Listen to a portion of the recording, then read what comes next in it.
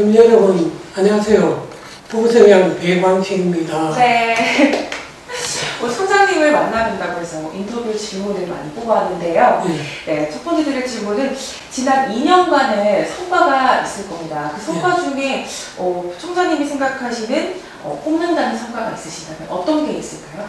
예, 우선 잘 아시다시피 우리 북구는 이제 산림 면적이 네. 우리 그 전체 면적에서 한 65% 정도 네. 차지를 하게 됩니다. 그 아마 그 면적은 우리 주 지역의 한 3배쯤 될 겁니다. 음. 이 말은 돼지버스 이야기 들으면은 우리 생활 주변에 내 생활권 내에 산과 강이 굉장히 밀접하게 접속이 되어 있다는 네. 그런 이야기죠. 그죠?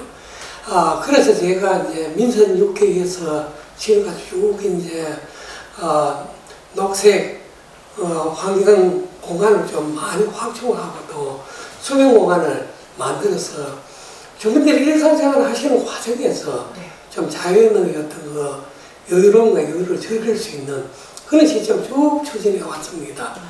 아, 그래서 그 결과 이제 우리 칠곡 동호대가 가면은 서리지라는 큰 못이 있는데 네.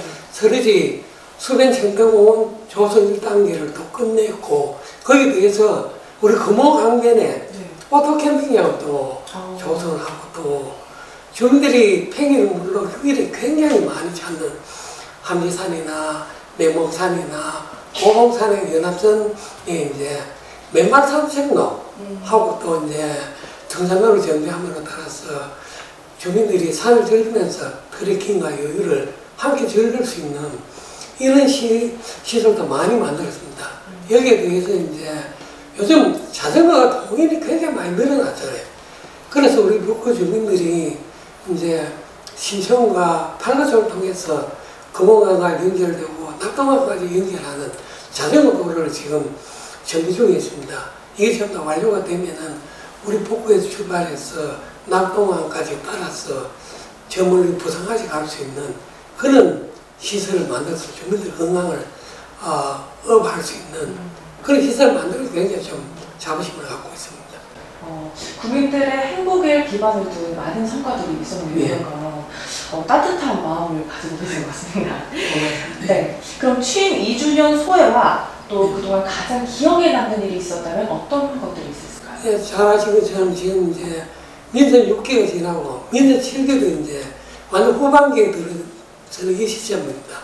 아, 이 시점에서 이제 시대가 변하면은 사회 가치도 변하잖아요. 네. 그래서 사회 가치 중심으로 해서 어, 보건, 복지, 환경 등 전부 다 걸쳐서 우리 시민들이 피부로 체감할 수 있는 어떤 뭐 공공 이익을 만들어내기 위해서 지금까지 굉장히 노력해 왔습니다. 그래서 이제 올해 같은 경우는 작년 1년 동안 이제 요즘 중앙정치권에서 부패 문제 때문에 굉장히 좀 다툼을 많이 일어나고 있잖아요. 네. 그래서 이 문제에 대해서 이제 우리 군 나름대로 부패 장, 방지 시청을 만들고 정책을 추진해서 이제 중앙정부로부터 시청배가 1등을 달성하는 그런 케어도 있었고요.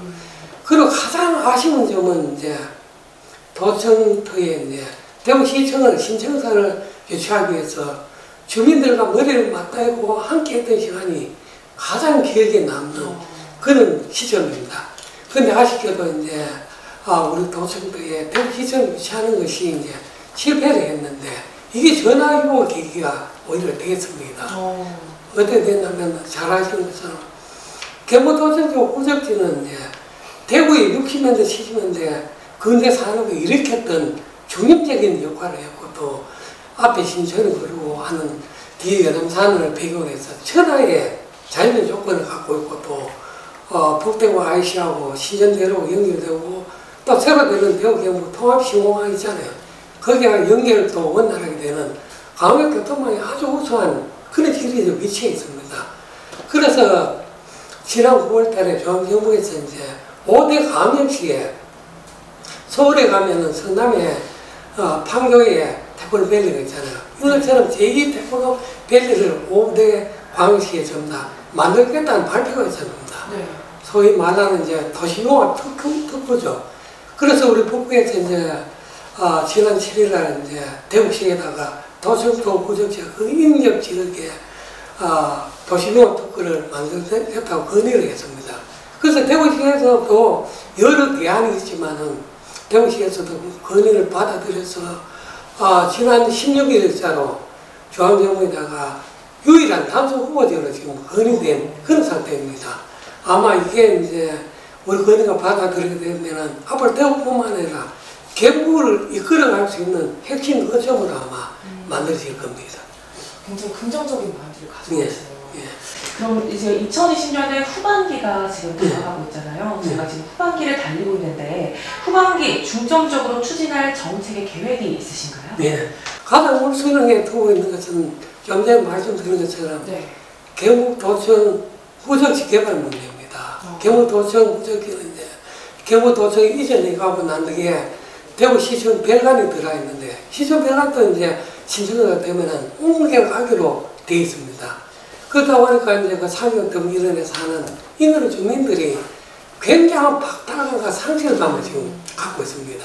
그 반면에 또 어, 상실감에 비해서도 거기다 개발된 염원이 아, 가능하다고 볼 수 있겠죠. 그래서 제 임기 동안에 이제 이런 주민들의 염원을 실현시킬 수 있는 청사진을 하나하나 이제 실현하는 것이 제 내의 목표입니다. 그래서 아마 연말에 아까 말씀드린 이제 도시융합 특구가 중앙정부에서 결정하려고 하는데 대구시와 긴밀히 협력해서 이제 경북도청 후적지와 경북대학교 삼성 창조 캠퍼스를 연결하는 트레, 트라이앵글 지역을 어, 소위 말하는 이제 도시융합 특구로 지정을 받도록 하겠습니다. 받게 되면은 그 다음에 여기에다가 이제 대구형 실리콘 밸리라 그래서 흔히 제가 이야기하는 DNA입니다. 네. 데이터 네트워크 인- AI 인공지능 쪽을 해서 관계 기업과 인재가 융합된 통합 플랫폼을 만드는 그런 계획을 본격적으로 추진하고 여기에 대해서 이제 시민 휴거 공간도 동시에 넣을 겁니다.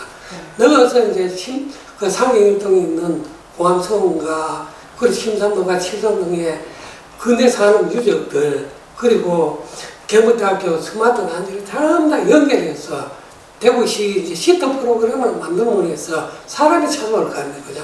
그러면 거기서 소득도 발생하기 때문에 사람이 살아갈 수 있는 이런 도시를 어, 만드는 게 지금 목표고 이렇게 되면은 이제 아, 대구의 미래 100년을 이끌어 갈 수 있는 아, 통합 플랫폼이 만들어질 겁니다. 네. 요즘 시기가 시기만큼 이 질문이 또 빠질 수가 없을 네. 것 같은데요.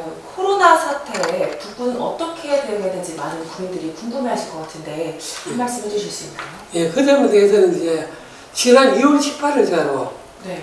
신천지발 확진자가 나오니 난 이후에 코로나 팬데믹이 연기되잖아요. 네, 이런 점 따라서 대처하기 위해서는 우리 구에서는 이제 재난 대처 본부를 중심으로 해서 전 지역을 극적으로 연결을 해서 이제 아, 검진과 그리고 자가 격리 사람들에 의해서 일대 전담 관리 체제를 유지하고 그리고 또 역학 조사를 통해서 또 확산되는 걸 막고 네. 또 그런 방역을 유지하고 있는 24시간 이제 가동되는 체제를 유지해 왔습니다.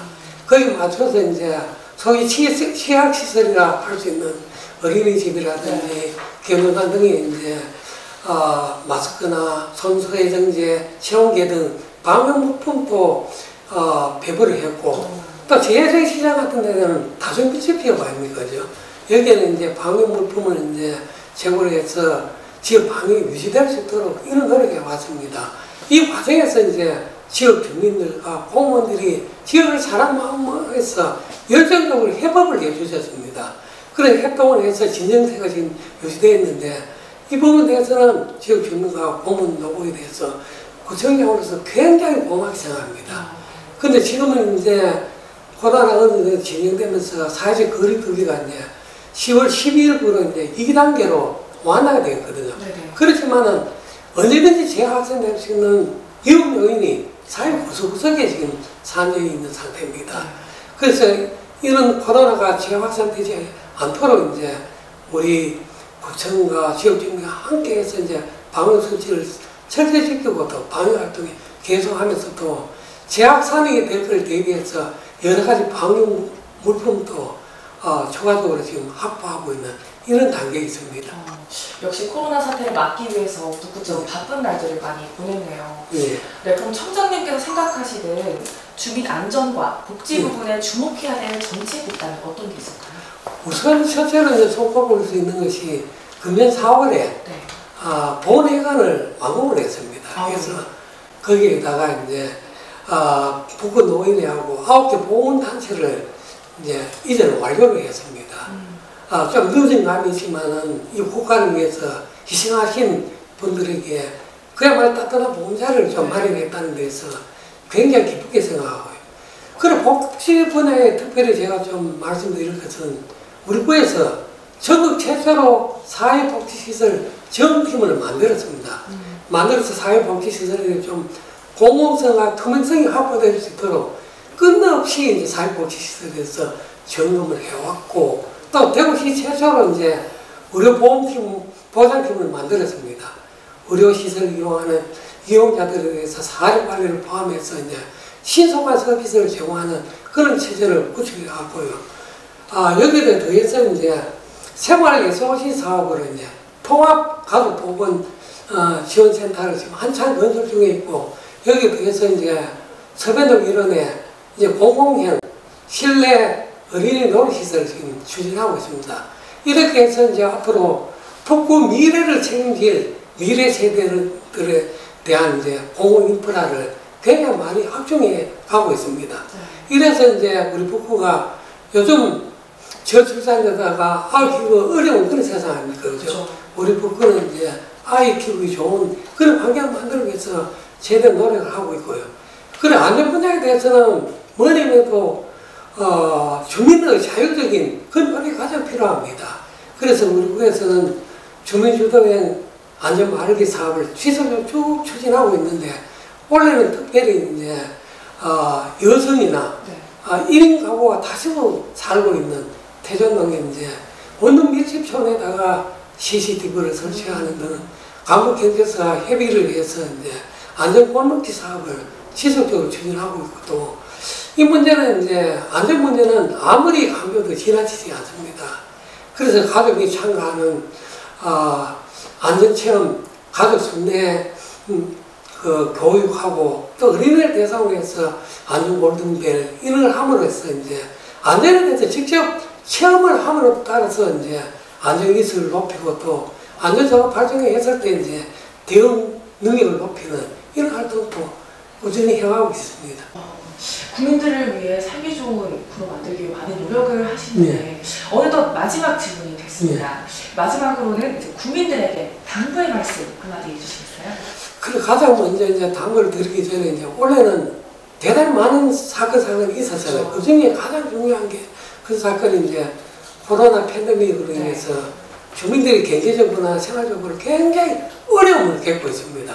굉장히 어려움을 겪고 있는데 이 어려움을 잘 극복하고 코로나가 진전될 수 있도록 함께 노력해 주신 주민 모든 분들 우선 감사하고 고맙다는 이 말씀부터 먼저 전하고 싶고요.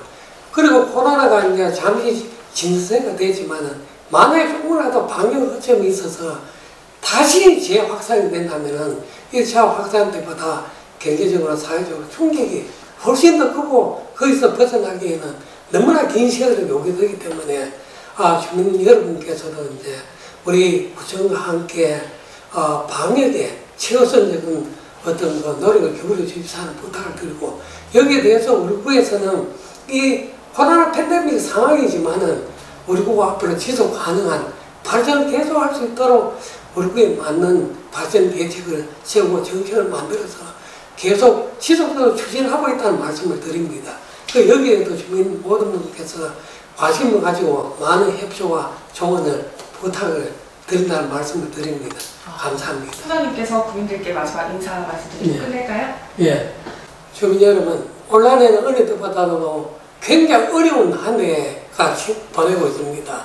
그래서 주민 여러분께서 용기를 갖고 참아주시고, 그래서 이 코로나 상황에 이제 사실 진지하게 들었는데, 이 점에 대해서는 구청장으로서 국민 여러분께 고맙고 감사하다는 말씀을 다시 한번 드리면서 개인적인 방역 수칙은 철저히 준수하시고 건강한 하고 행복한 한 해를 다 같이 마무리할 수 있도록 기원 드립니다. 고맙습니다. 끝까지 인터뷰 응해주셔서 너무 감사드립니다. 예, 감사합니다.